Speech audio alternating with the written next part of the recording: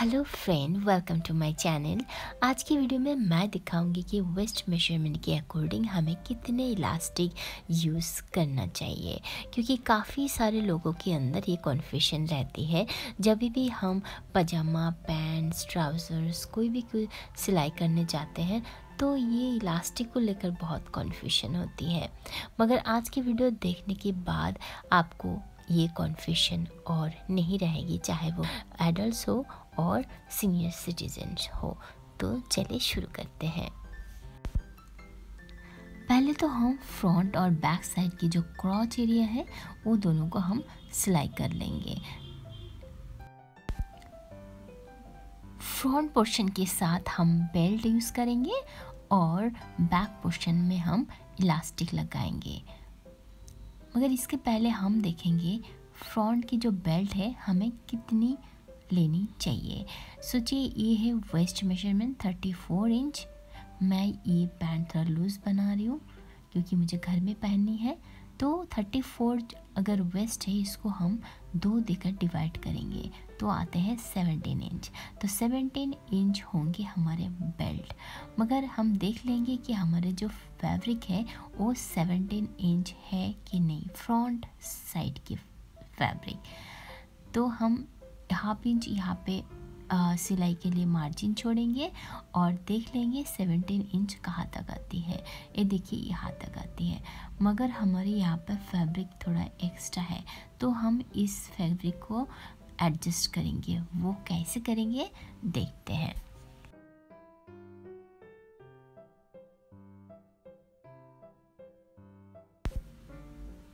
देखिए, यहाँ पे एक से डेढ़ इंच तक एक्स्ट्रा फैब्रिक है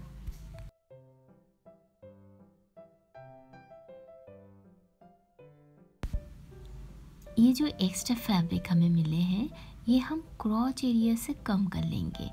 तो वन एंड हाफ़ इंच को हम ऐसे फोल्ड करेंगे और जो भी है, उसको फैब्रिक के ऊपर रख के ऐसे हम मार्क कर लेंगे। और इसके ऊपर से हम स्टिच दे देंगे तो ये 17 इंच में आ जाएँगे। फ्रेंड, मैं यहाँ पे एक चीज़ क्लियर कर दूँ।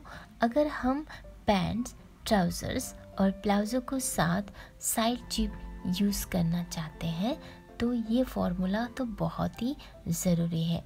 Otherwise you can skip this portion मैं इसलिए ये बोल रही हूँ क्योंकि अगर घर में पहनने के लिए चाहिए तो हम थोड़ी बहुत लूज तो रख सकते हैं। अब देखिए क्रॉच एरिया में एडजस्ट होने के बाद ये हमारे 17 इंच में आ गए हैं।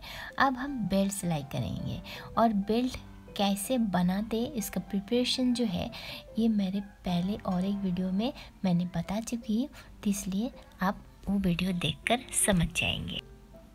बनाने के ऊपर जितने भी वीडियोस हैं, इसके लिंक मैं डिस्क्रिप्शन बॉक्स में दे दूँगी।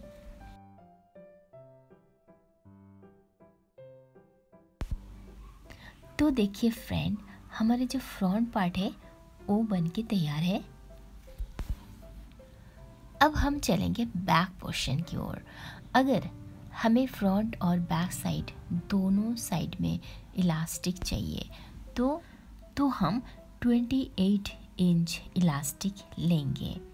मगर सिर्फ़ बैक में चाहिए तो हम इस 28 इंच को फिर से दो देकर डिवाइड करेंगे और 14 इंच आएँगे। तो ये 14 इंच होंगे हमारे बैक इलास्टिक और इसके साथ हम एक इंच एक्स्ट्रा मार्जिन लेंगे, क्योंकि वो हमारे सिलाई मार्जिन होंगे तो टोटल कितने होंगे? 15 इंच फ्रेंड कभी कभी इलास्टिक की क्वालिटीज़ के ऊपर भी हमें कैलकुलेशन करनी पड़ती है। कोई इलास्टिक ऐसी होती है too tight if you pull it will not stretch as expected और कुछ इलास्टिक ऐसी होती है, जो बहुत ही पतली होती है। थोड़ी सी पुल करने से ये बहुत स्ट्रेस हो जाती है।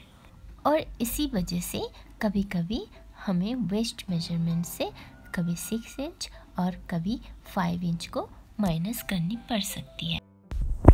यहाँ पे इलास्टिक सिलाई करने के लिए बिगिनर्स के लिए मैंने एक बहुत ही यूज़फुल ट्रिक इस्तेमाल किया है।